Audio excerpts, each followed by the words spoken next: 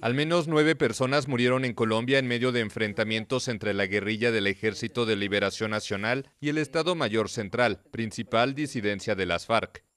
Videos difundidos en redes sociales muestran a un comandante de las disidencias pidiendo ayuda humanitaria para atender a los guerrilleros del ELN heridos en combate. El gobernador del departamento de Arauca, Willington Rodríguez, informó que militares hallaron los cuerpos en el municipio de Puerto Rondón, cerca de la frontera con Venezuela, junto a cinco heridos, entre ellos una menor indígena de 14 años.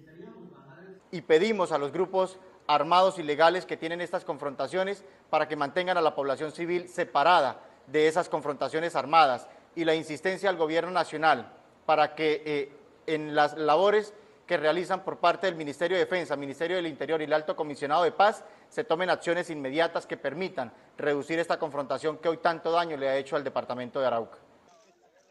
Paralelamente, el ELN definió el lunes acciones humanitarias con el gobierno colombiano en zonas afectadas por el conflicto armado, al cierre en Caracas del cuarto ciclo de negociaciones de paz.